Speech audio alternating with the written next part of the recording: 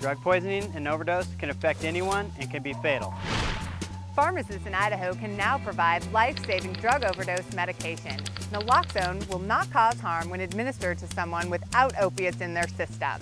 Go to connectthepieces.org and click Save a Life to learn how to safely administer naloxone and for a list of pharmacies that carry it. Remember the three steps to save a life. Always call 911, begin hands-only CPR, and administer naloxone. Let's work together To save lives.